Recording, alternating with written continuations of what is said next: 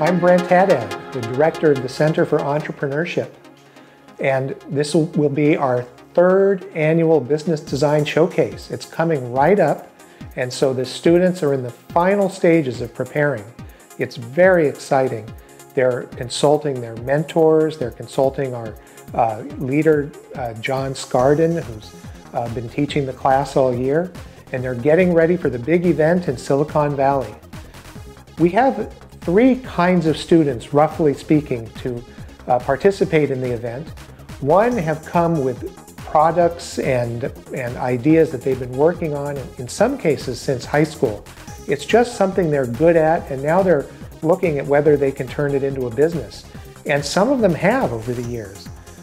Another kind of student showed up with an inkling of what they wanted, a dream, a thought, and they formed a plan and they've spent the year uh, with their teams really fleshing it out and now they have a business plan as well as a prototype and they're ready to show us what they got.